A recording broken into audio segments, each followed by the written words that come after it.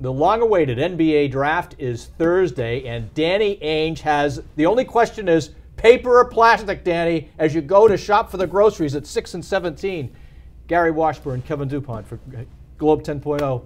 What do you think? What, what, do you think of Danny's record track record here with these kids? It's pretty good, pretty good. I mean, they've had some misses.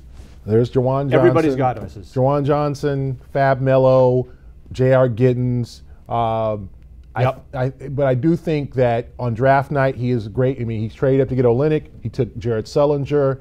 Um, the Avery Bradley pick has turned out to be pretty good. Yep. Not great, but he's turned out to be a solid player. Jeff Green years yeah, ago. Jeff Green, yeah, exactly. That Yep. got them Ray Allen. So um, I think his track record's fine. I, I think he's a very astute at, draft night trades. Those are the good things. Those are what he scored scored on with the Ray Allen trade. I mean, I think that's what he's done most at trading up, seeing a guy he wants, or understanding that one guy that he wants will fall. Let me get an asset for that guy, move down. I think that's what he's good at. And you think it's going to gravitate here at the number six pick, pick is probably Embiid.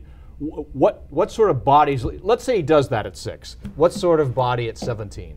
You know, I think if you take a, a kind of a guy who you have to who might not be ready at six, at 17, you might want to take a guy who's a little bit more ready to go, like a T.J. Warren from North Carolina State. This is a guy who's ACC Player of the Year as a sophomore. He's a professional scorer. He's going to score at this level because he scored at every other level. So I think you might take the more sure thing as opposed to taking maybe a kid who's let's say off the charts athletically, but still Yeah. th- two to three years from helping you. You take the more the sure thing. Yeah, and you're structuring all these as we go out here. You're structuring all these these two picks, this mindset around Rondo stays.